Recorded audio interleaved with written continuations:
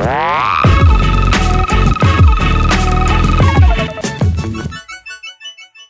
guys, welcome to One Stop Non-Stop. Today we will see how to solve Windows update error. Let's go to setting, update and security. Here you can see the update has already failed.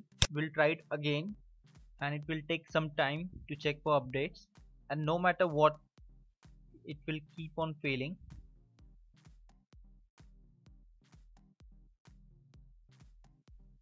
here you can see it has failed again. Now let's try a solution for this. Just simply disable your antivirus and try to update again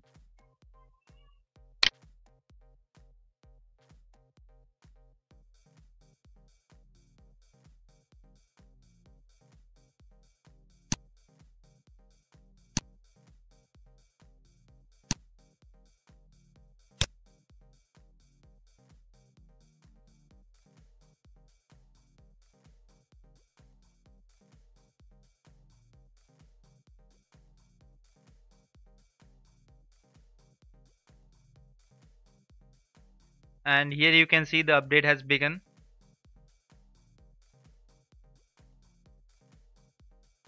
Thank you for watching the video.